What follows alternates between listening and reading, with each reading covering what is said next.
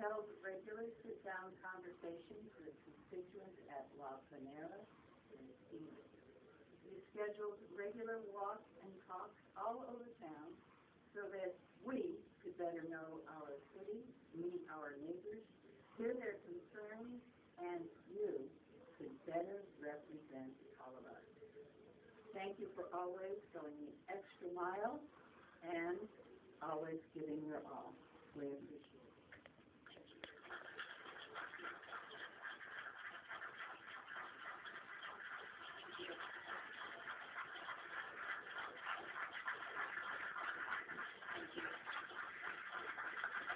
Thank you.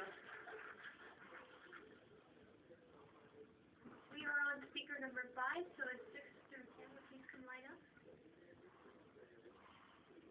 My name is Angela Lindstrom. I am here to speak on Measure W. I know most of you, community are aware that Measure W was defeated by a healthy margin on November sixth, uh, two thousand twelve, and of course, uh, looking just to see results here as, as well. Fullerton voters deserve huge credit for proving that they won't be fooled even when barraged with one and a half million dollars worth of deceptive advertising.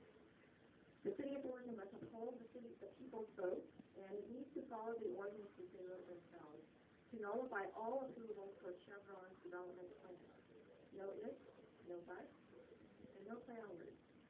The full spirit of those ordinances must be followed.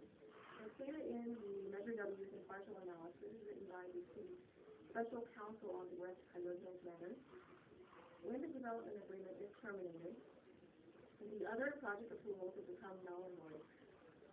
Section two point three of the development agreement states the same, and in fact, cites a scenario where the